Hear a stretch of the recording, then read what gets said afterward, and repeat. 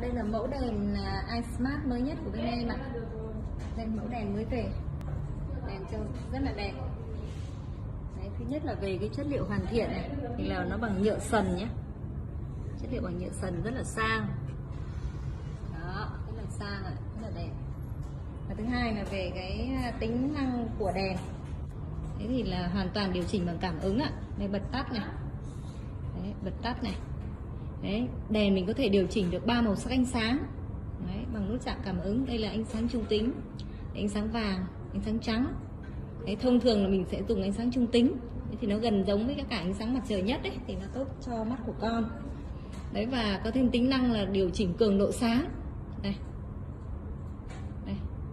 Tối dần này. Đây là mạnh lên này. Đó thế thì tùy theo cái không gian học nhà mình ý. Nếu mà xung quanh càng tối thì mình lại điều chỉnh sáng tối cho con. Và xung quanh ánh sáng mình điều chỉnh sáng lên cho mắt con đỡ bị điều tiết nhiều. Ngoài ra đèn được tích hợp thêm cái màn hình hiển thị ngày giờ nhiệt độ phòng này. Đó. Đấy, và mẫu đèn mới này là đèn à, đèn tích điện ạ, đèn sạc. Thì à, bình thường mình à, dùng thì mình cứ cắm điện trực tiếp vào còn khi mà nhỡ may mà mất điện thì mình cũng có thể à, dùng à, cục pin sạc ở trong à, đèn của nó được mấy tiếng. Đấy, và đèn còn có thêm mấy tính năng nữa rất là hay.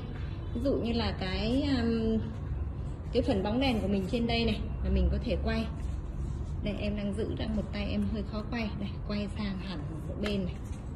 Đó, quay hẳn sang bên trái, bên phải. Đây, em quay sang này đó đấy hay quay hẳn ở phía bên này đó rất là hay để phù hợp với cả nhiều cái góc khác nhau ấy, tùy theo cái nhu cầu làm việc của mình. Đấy, có thể đua xuống.